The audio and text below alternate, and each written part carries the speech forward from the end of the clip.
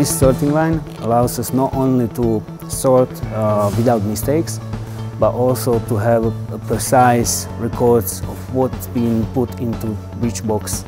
We know different types of sorting lines, uh, but we needed a custom-made solution. And for that, uh, Photoneo has proven to be a perfect partner for both development and cost-effective solutions.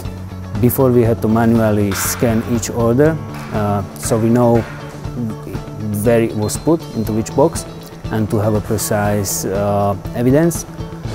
But uh, it was very expensive and there was many mistakes.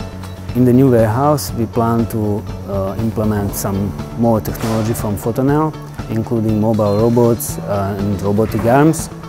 Uh, and we'd like to further develop the relationship between uh, human and robots working together.